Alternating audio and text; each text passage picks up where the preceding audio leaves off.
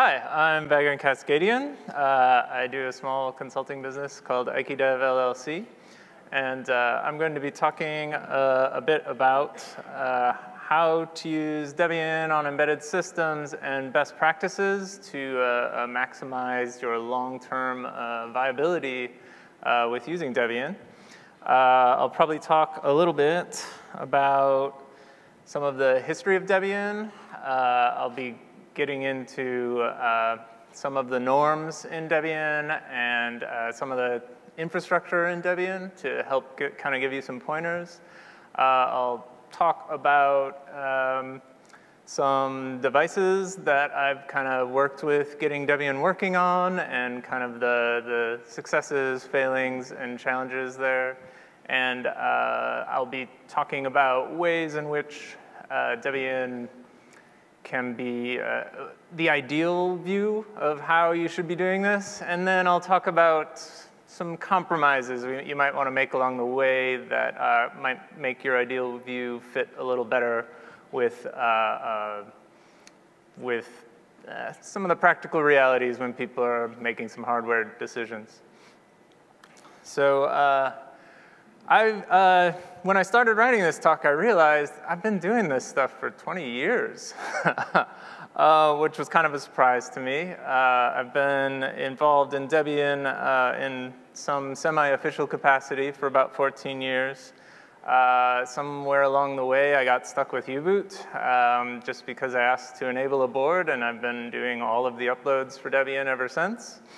Uh, and uh, I've been working a lot on the reproducible builds uh, farm, running a bunch of ARM boards uh, to rebuild all of Debian. And uh, just a couple of years ago, I got my black belt in Aikido. That may not seem relevant now, but uh, I'll work it in.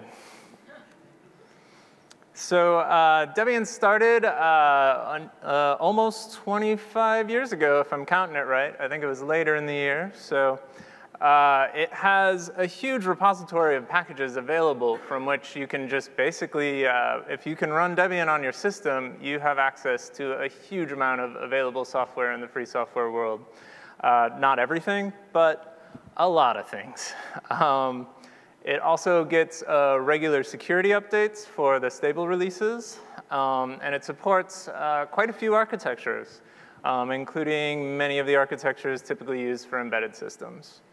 Uh, so um, so uh, as embedded hardware is kind of edged beyond the, the microcontroller era and onto uh, general purpose computers, um, we, uh, it, Debian becomes a lot more viable for systems for a lot of these strong reasons.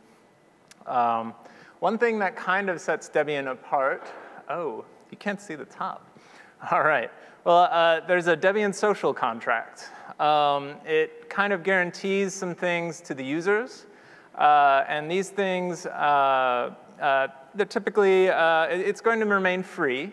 You can use it, modify it, redistribute it, and we'll get to that a little bit more later. Uh, Debian tries to give back to the community, tries to do so in a transparent way, and we love our users. And there, there was a pragmatic, somewhat controversial compromise in Debian where officially uh, everything in Debian is free software, but there's this little section we tend to shunt off to the side and kind of support it that includes some components that wouldn't fully meet Debian's typical uh, freedom guidelines. So the social contract, is, uh, not every distribution has a contract kind of like that. So they basically just say to you, this is what we're doing, this is why we're doing it, uh, the Debian Free Software Guidelines uh, kind of spell out what we mean by free software. Um, it includes things like using, modifying, redistributing the software. And this stuff can really help avoid vendor lock-in, which to, uh, to clients, sometimes that's really a, valuable, valuable feature. Um, and it gets into some more details. Uh, and the Debian Free Software Guidelines were used as the basis for the open source definition. Um, so they're, they're very similar uh, with a slightly different angle. Uh, but one of the things uh, that really sets Debian apart from a lot of distributions is they have a very strong policy Uh, so it has the Debian policy, which really uh, describes uh, mandatory requirements in order for a package to be in Debian, and also best practices, which are kind of optional but strongly recommended or suggested practices you should do. So what this gives you uh, that not every distribution has is when you install a package from Debian, you know how it's going to behave, or, and if it's not behaving that way, it's a bug. It's not some feature, or it's not some, uh, uh, uh, well, I wanted it to do that way. So things like packages can't overwrite the configuration of other packages. You know, you install a package, uh, and it shouldn't break some other random package on the system. That's a bug. Uh, not every distribution really sees things that way, and it has some pluses and downsides to that kind of an approach.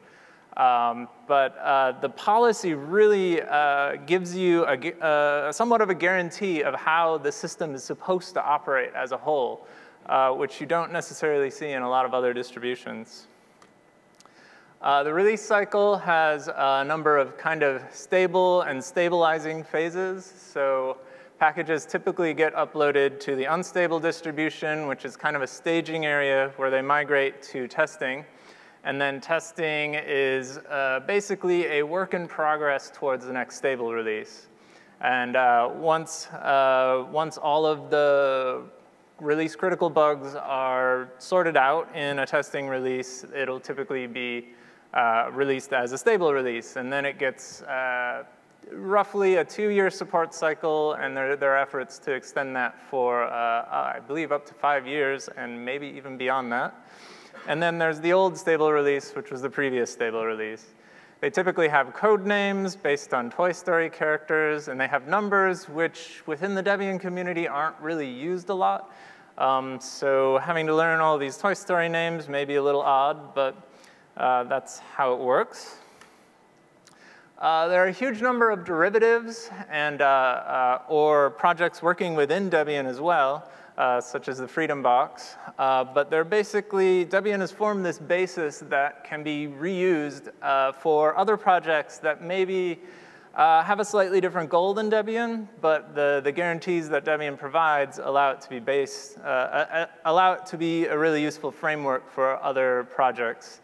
Of note, since this is the Embedded Linux conference, Armbian is a really interesting one. For the most part, it's just straight Debian with possibly a different bootloader and a different kernel. Um, so that's kind of, uh, uh, that, that, that's basically some of the approaches uh, we'll probably talk about in a little bit. Reproducible builds is something I've been really involved in. Uh, this kind of uh, is recently added to the Debian policy. And uh, this, this can ensure that a given package will actually, it, it gives you a trust path to figure out uh, when you're building this source code, it results in this binary. And it does that by having uh, arbitrary independent people able to review, uh, rebuild it and come up with a bit for bit identical uh, package. Uh, so that's something that more and more distros are working on, and that's really exciting. but they're not really there yet, and neither is Debian, but we're working on it, and we've come a long way. So in Debian, uh, related to embedded systems, a, a, really important package is the Linux package. Uh, so Linux, uh, there's a tracker URL, tracker.debian.org, and that will take you to a web page which kind of gives you an overview of the status of Linux in Debian. Um, typically, the versions of Linux and Debian are, for the most part, taken straight from upstream, and then they remove some binary blobs, and uh, there are a few other Debian-specific patches, but for the most part, it's straight from upstream, and if you want to get any new features into it, first you have to get them into, uh, into an existing branch of the Linux kernel. Uh, I'm one of the, well, I'm pretty much the only current U-boot maintainer in Debian. Uh, so similarly, we usually backport packages from upstream, but, uh, but I have taken the liberty of occasionally testing patches out in Debian first uh, and then submitting them upstream.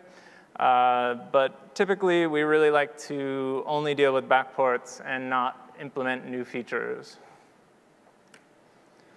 ARM trusted firmware has started to become a bit of a, a thorn in our side in Debian. Um, not, not because of anything inherent, the licensing actually looks pretty reasonable, but I haven't found many boards that actually work with the main mainline ARM trusted firmware. Uh, and this, um, and there are countless vendor forks uh, of this project. And uh, ironically, the first ARM trusted firmware that actually got into Debian is uh, one of the Allwinner forks of it. And this is really needed for just about all uh, ARM64 systems. So uh, that, that's a work in progress. Uh, would really love to see uh, would really love to see more work towards getting boards supported on mainline ARM trusted firmware. Uh, that would really make the world an easier place for Debian. So uh, another thing that, uh, because Debian strips out a lot of the driver firmware binary blobs without source code, uh, there may be incompatible licensing. Uh, some of these will be integrated into the non-free components of Debian, uh, but some of them aren't or aren't yet, or uh, they're not readily available. Um, so these things, uh, how you install Debian is basically, uh, like many distributions, you can network boot it or boot it off an ISO in the ARM world, in the embedded world, uh, maybe USB boot or off of a micro SD. Uh, we've got images for net booting, net booting or SD card images for uh, the ARMHF architecture.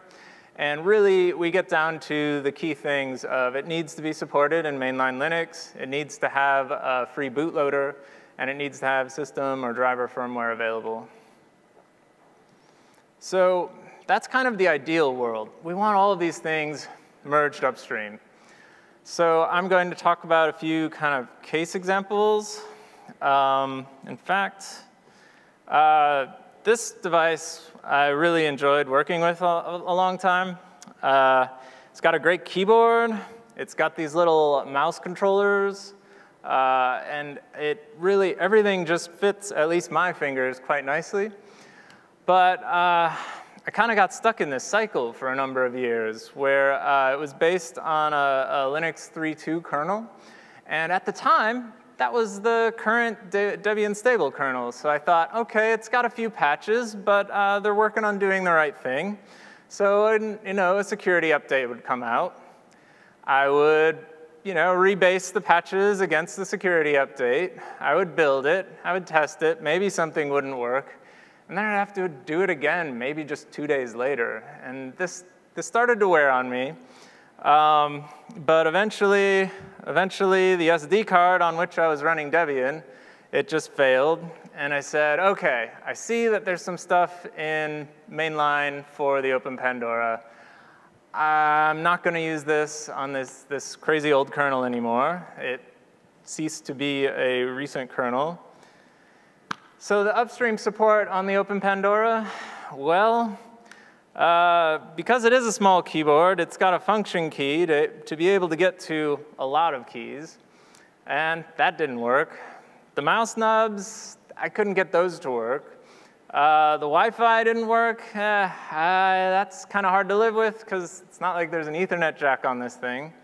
And USB still didn't work. I've never really had USB working on this thing, even with the image that it came with.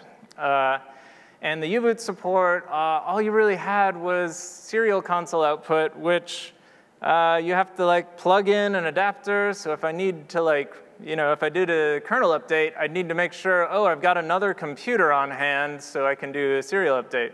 But I've taken this thing traveling without uh, having to deal with a laptop, and I've done development work. I've uploaded packages to Debian that while doing development on this thing, I mean, it's really a nice piece of hardware. I was really sad to give up on it. Um, but that's basically what I did. Uh, another board I started getting involved with was the BeagleBone Black a number of years ago. It used to run an Angstrom-based distribution. And for whatever reason, the main person maintaining that disappeared, and they're like, we should, we should give Debian a try. And uh, so somehow I got involved in this. And uh, you know, they said, well, we've got patches based on the 3.2 kernel. And, and I'm thinking, oh, I've been doing that for my Open Pandora. That should be easy. Uh, you know, and turned out they were for a different variant of the BeagleBone. I think it was the BeagleBone White. Uh, they worked, they had their own vendor fork of U-Boot. Uh, then I saw that U-Boot was supported in mainline U-Boot, but the version of U-Boot in Debian was several years old. So I was like, hey, can you enable this? And, and that's how I ended up maintaining U-Boot for the next few years. Um, but now uh, the support for BeagleBone Black is pretty good in Debian.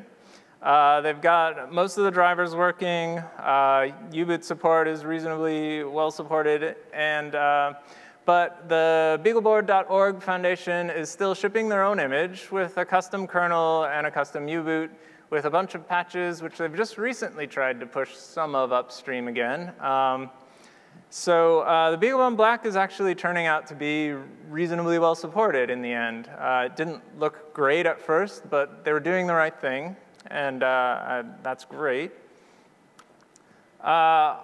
I also got a few of the, the, little chip computers, which I don't know if you ever tried to do a search online for chip, but wow, that's hard to find. um, so that was kind of unfortunate, although Pocket Chip was a little easier to search for. Uh, but uh, on the early models, which are the ones I got, because I got all excited and got on whatever crowdfunding platform it was and supported it, uh, but the NAND uh, is not really supported on mainline Linux, and it doesn't look like it ever will be. I would love to be proven wrong there. Uh, the vendor bootloader doesn't boot a kernel with a raw initRD, which some of the distributions tend to like that feature enabled. And this is a, this is a common thing in vendor U-boots is they won't, they'll enable the, just the features necessary to boot their particular variant of the operating system. Uh, and then I don't think the mainline U-boot supports the NAND on board, and there's not really, it doesn't actually even have a micro SD card or anything, so you can boot over USB, and then you, the only file system you can get access to is a, like a USB stick or something, which makes it kind of hard to be a mobile device. But um, so this device, I don't know, maybe someday it'll, it'll improve. There are a few of them out there. Um, but these are kind of some of the stories that uh, they didn't quite work out. Um, or they worked out to some degree, or eventually they, they, they work out. So you get to a situation when you're developing, uh, when you're developing software uh, for a particular board or a particular system, uh, you kind of get to a point where you have a choice. It's like you can either uh, engage the community, but that might, that might involve some sort of conflict, right? Like, you're like, well, we need these features enabled, we need that. But what people usually do, uh, what, what projects often do, is they just run away and they kind of go do their own thing in a corner somewhere. Um, but this has some drawbacks. I mean, I'm glad people aren't like getting, you know, getting, getting all ready to do fisticuffs over like getting their support for their board, you know, and fighting on the mailing list and creating lots of flame wars.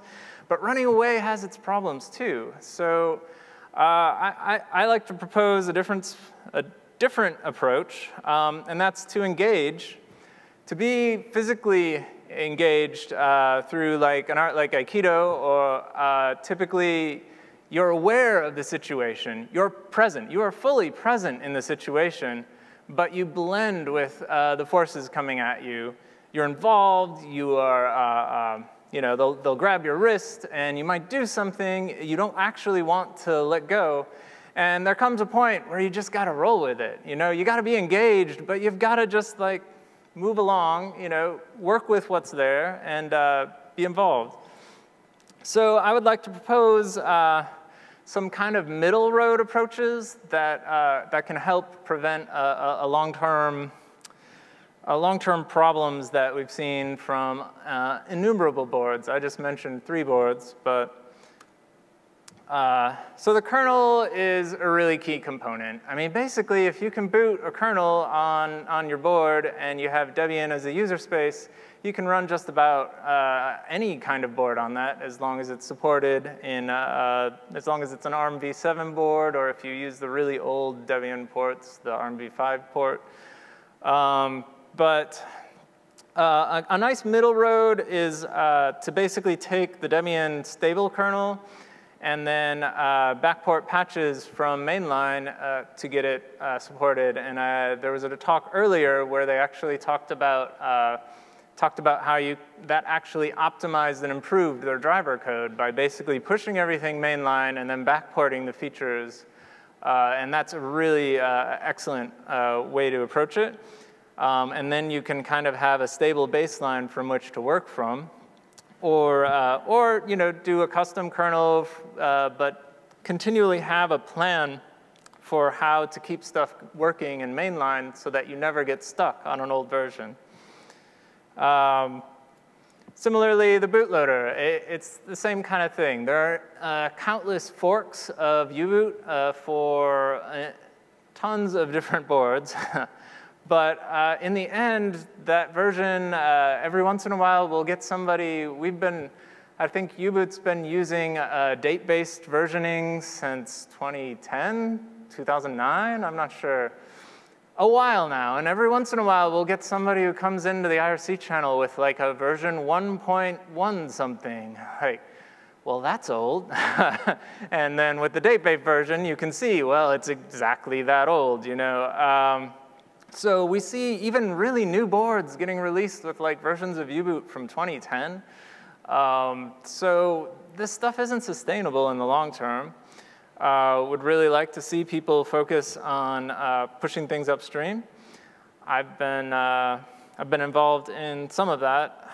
Um, and then in the x86 world, a lot of people don't really even think about the firmware. They don't even have a choice, really. they they've got this BIOS on their machine, and you know, maybe the vendor provides updates, maybe they don't, uh, but it's a little different in, the, in uh, some of these embedded systems where you actually do get the source code to actually uh, replace your boot firmware, and uh, we should keep that current so that when unforeseen security issues come up, uh, we can actually, that, that require something at the bootloader or firmware level, we can actually address those issues.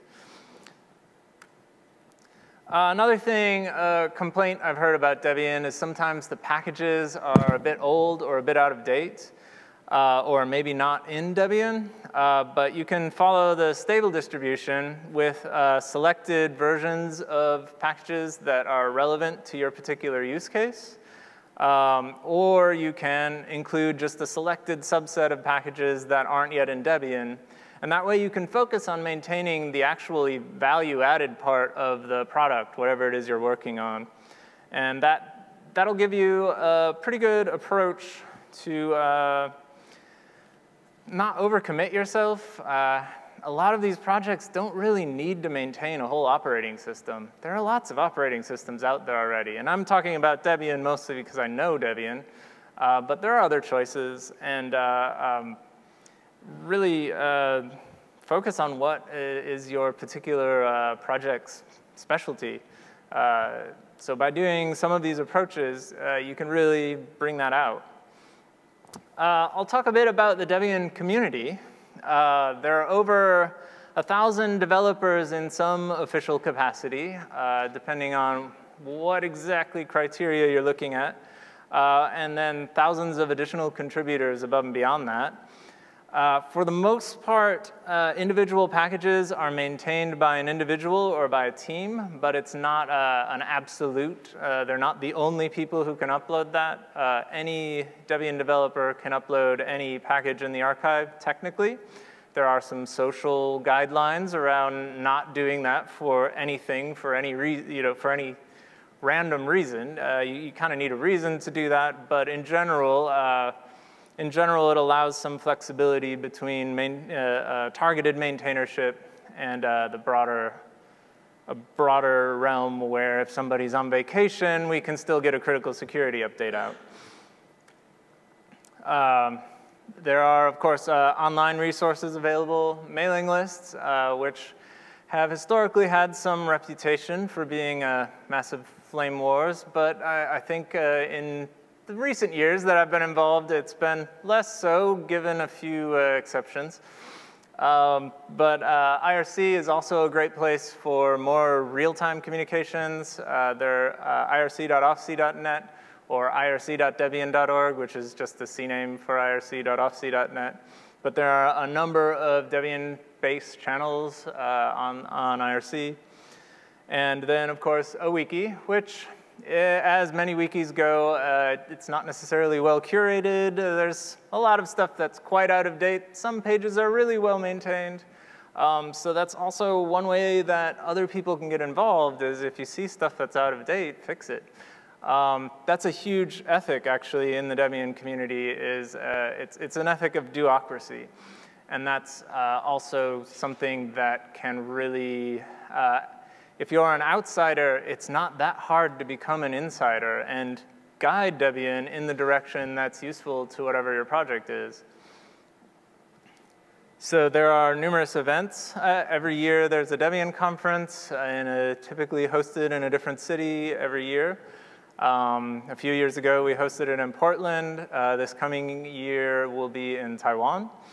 Uh, and then numerous uh, smaller mini conferences. Some of the mini conferences, like in India, are as large as the official conferences, but uh, Uh, and then we'll have uh, bug squashing parties where uh, we might try and get a release out the door or trying to move some new feature over that, that's been lagging. Uh, so I, I kind of referenced this tracker. I just wanted to give you an idea of the kind of information you might be able to see, like by going to that page. Um, so this is, for example, the Linux package. Uh, and it, will basically show you the versions of the package currently in Debian. Uh, gives you links to the bugs, uh, build logs, numerous other kind of quality assurance checks. Uh, so this is a really great URL to know if you're trying to, uh, if, if, you are using Debian and you've got a particular piece of software in Debian, uh, you can pretty much go tracker.debian.org slash package name and it'll get you to a summary of information about that package. Uh, the web interface to the Debian bug tracker is actually read-only. um, which, you know, uh, this thing, uh, I'm, I'm not sure how old it is exactly, but it was kind of around before this whole Web 2.0 thing happened. Um, and so basically, uh, you can browse the bugs and do all that sort of stuff. But really, when you get down to it, it's an email-based system, which for my workflow actually works really well. I can do things offline. I can queue up mails. I can develop bug reports. I can download all my latest bugs to annoy me, uh, and then read them on a train or a plane or something. Um, so you can actually do quite a lot offline, uh, and it's a pretty simple format. I mean, you just email submit at bugs.debian.org, make sure there's a package colon and name of package in the, in the body of the message, ideally a version, and then there are numerous other kind of tags and flags you can set but uh, so for some of you, this may seem like an antiquated system, but it, it still has a lot of merits. Um, and this is how you get information into the bug tracking system. So I've been uh, suggesting that uh, there are ways you can get involved in Debian. Of course, uh, you can report on features or bug reports. Uh, that's a pretty good entry level. Uh, that's certainly where I got started uh, some innumerable years ago. Uh, and it's really not that hard to become a maintainer or developer of a project within Debian. If there's a piece of Debian that is useful to whatever other project you're using Debian with, um, typically people are pretty happy to have help. And uh, as I said earlier, it's a bit of a doocracy. So those doing the work define what happens. I mean, so uh, if you need something done in Debian, in many cases, you can typically jump in and do it. Uh, so there are, uh, and if you've got a reasonable, you know, coding skills background or whatever, uh, if, you, if you're familiar with revision control systems and at least one programming language, you can typically jump in on some project and make a really useful contribution.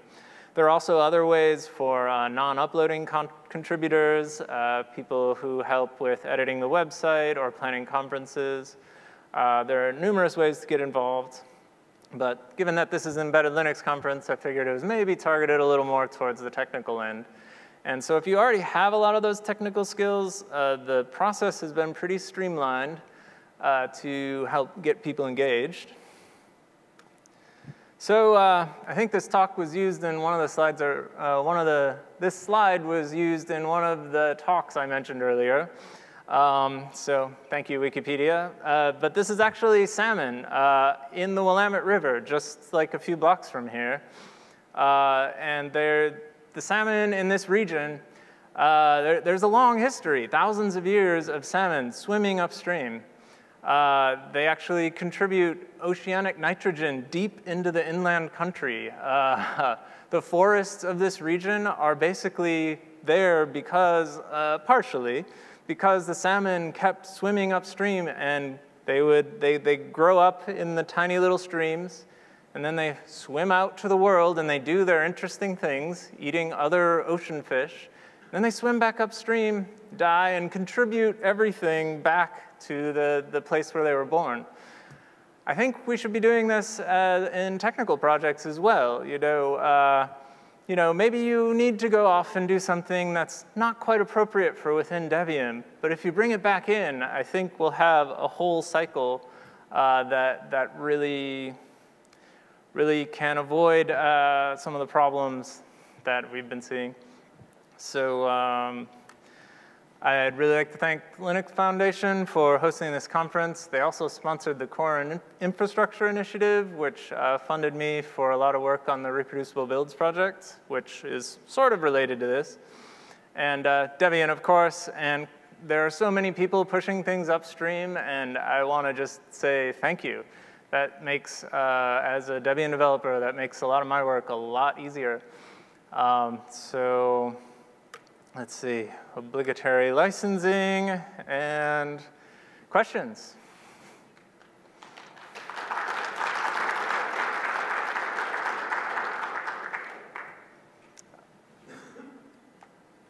Uh, how does this work?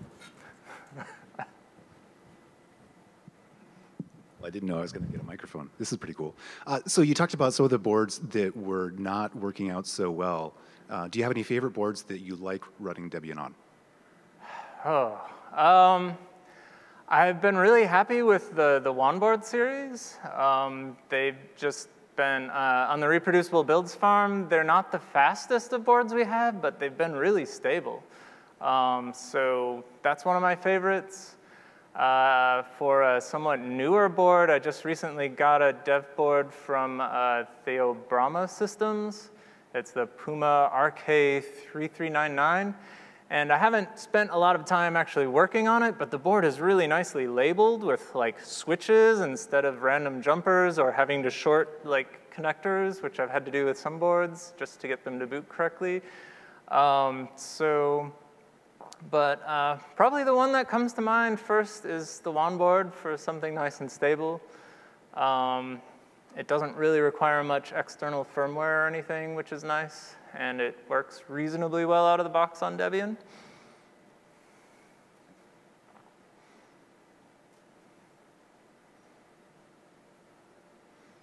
How many people have worked on a project using Debian? Okay. I guess the title of the talk might have biased the audience a bit there. Um, cool? Yeah, yeah. Any, uh, any war stories from a project you're using Debian on? Or I see a hand back there. Hey, um, so I felt this talk was mostly about evangelism for Debian, but I was mm-hmm. hoping if you had like some concrete points about um, best practices for Debian on embedded systems. Okay. Like, what are the, some of the takeaway messages? The real takeaway is get your stuff upstream. I mean, that's really, to a large extent on Debian, uh, if you have upstream support in the Linux kernel, if you have upstream support in U-boot, if you have uh, your boot, boot firmware available upstream, uh, Debian basically just works. So in that sense, um, yeah, I don't have a, a, lot more to say. It's kind of stressing that point, uh, and there have been a couple other talks talking uh, in a similar vein throughout the conference. So, uh, so yeah. Okay, thanks.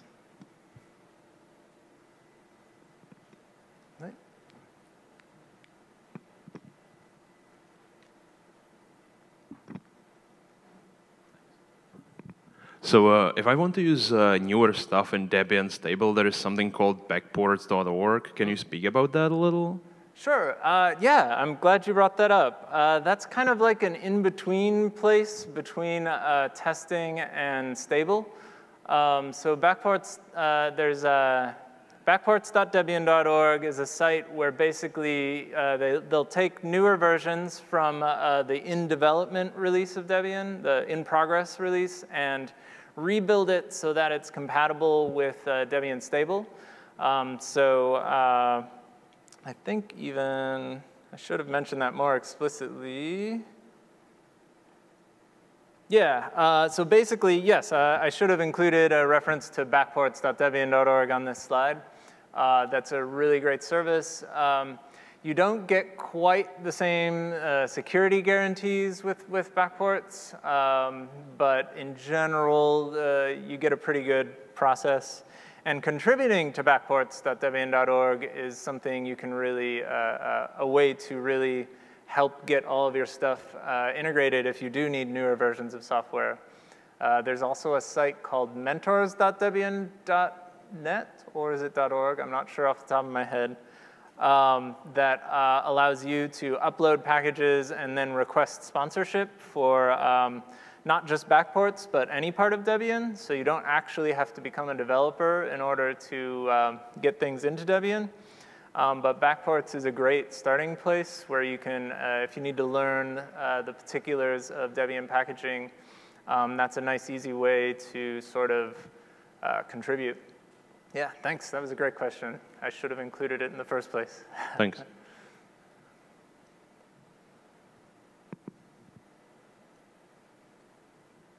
All right. Last call. All right. Um, uh, what can you say about uh, how to formulate this? Um, it can be frustrating to work with a lot of packages because the packaging format, as it's always been, is tarballs plus patches. Um, I know there's been, there was a, a uh, Git variant of source packages for a time. That Mhm. seems to have stayed experimental or died. Um, Right. I know that a lot of Debian developers use Git repositories, and this uh, new GitLab infrastructure is coming in place. Um, what's going on in the community these days when it comes to source package formats? And is there ever, you think we'll ever see a time when the official source package format is a real Git repository like everything else in the world and not something that's, you know, ultimately gets converted to tarballs plus patches, which are Right. kind of hard to work with. Yeah, there is an interesting project called dgit. I don't know if you've heard of that, um, but that basically allows you to kind of do uh, that kind of a workflow, and then the packages that get uploaded as a result of that are are then imported as like, I don't know if it's a commit or a tag in your Git branch, um, but it basically uh, is a workflow uh, where you can basically just commit to your Git, commit, and uh, then you just, you use the dgit tool to upload, and then it'll prepare the source package, and it'll prepare all those artifacts that you don't kind of want to deal with. Um, so there are people working on other approaches, but yeah, the, the dget source or the Git source format is, as far as I'm aware, nobody's actively working on it. And like I said, Debian is very much a do-ocracy, and it's also thousands of individual interests all kind of working together, but also kind of working independently, which is both a strength and a weakness of Debian. Uh, so I can't really promise you anything, any sort of timeline or anything. I, I haven't heard of anything in the works to really change that angle of Debian. But um, Uh, have you seen anyone try? Has it been a discussion that resolved in some, you know, not in recent years. we have this general philosophy about it and Yeah, and So- I haven't seen any recent activity on that. Um, but yeah, uh, I mean, the biggest change right now is we we're basically the only official hosted infrastructure is all going to be Git based. We used people can still use whatever revision control they want, but the, the provided hosting infrastructure is just going to be Git-based from now on. And it was the vast majority of packages already simply using Git. So, so sorry to not give you better news, but No, I think that's the status of it. Thanks. In a different talk, somebody mentioned it's more called Git dash build package, Yeah. but it's not. It's just a way for the repo to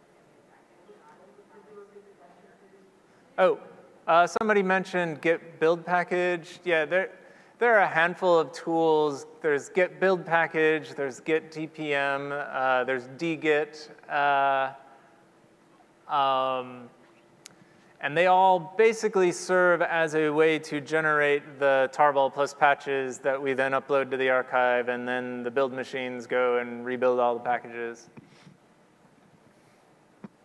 I've been given this microphone, but I think the speaker just went over what I was saying. So thank you. Okay. Any other questions or comments or uh, hopes for the future? All right. I have a general question since I'm already holding this, which is do you think, um, especially given the slower release cycle of Debian as compared with many other distributions, I haven't gotten the impression that the community as a whole um, particularly values supporting embedded platforms, which is just because the landscape changes a lot faster in the embedded world. Uh, do you think that understanding is accurate, or do you think it's changing, or so on? Well, what's really interesting about Debian's workflow is we produce this stable release, but the majority of developers are on a ro rolling release. you know, so we kind of have a bit of both, um, which actually I think uh, uh, can actually be a positive thing. It gives us the time to like really go over and make sure everything's complying with policy.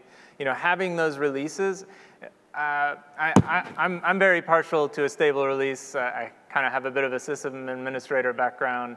But I, I do think uh, Debian actually has a nice blend of the rolling release and stable release kind of format uh, because packages are constantly rolling into testing. Um, you know, it's, it's maybe not technically a rolling release or whatever, but it, it has a lot of the same properties. So, um, so yeah, that, that, that's a whole nother approach. I was definitely recommending um, targeting stable and then basing your stuff on that just to give you, uh, so that the rug doesn't get pulled out from under you in the middle of your you know, development process. But if you would rather go with newer stuff, uh, definitely targeting testing or even unstable in, in some cases may make a lot of sense.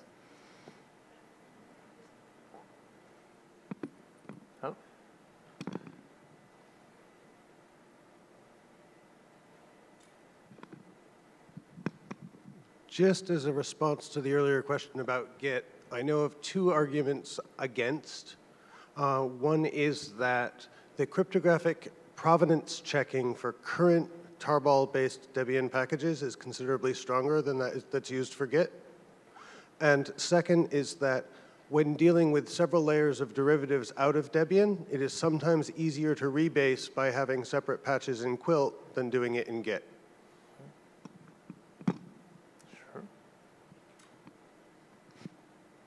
All right. Well, uh, thanks for coming, everyone, and uh, hope you got something good out of it.